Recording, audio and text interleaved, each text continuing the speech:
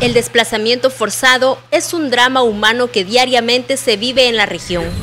Familias enteras han huido buscando asilo en otros países. En 2018 a nivel mundial se reportaron 6.8 millones de personas desplazadas. En 2019 ya se registran 7.8 millones. El año pasado la Agencia de la ONU para los Refugiados reportó más de 38.600 personas que abandonaron El Salvador. Quiere decir que hubo un aumento de más de 2 millones de personas que han dejado su casa, sus cosas, sus propiedades y han dejado todo su vida para poder estar en, en, paz. De acuerdo a organizaciones que atienden a víctimas de desplazamiento forzado, la economía y la delincuencia son factores que impulsan a las familias a emigrar y pedir asilo. La situación de, de persecución, entonces una situación de, de violencia eh, como tal y la identificación familiar. Han salido de su país de origen por un temor fundado de persecución, por los mismos cinco motivos que planteé antes, o por, también por este, situaciones eh, asimilables a violencia generalizada, conflictos internos, disturbios interiores.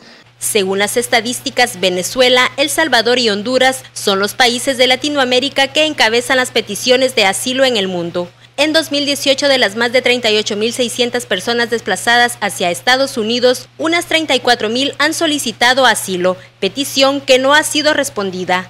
Para Carasucia Noticias, Carla Andrade.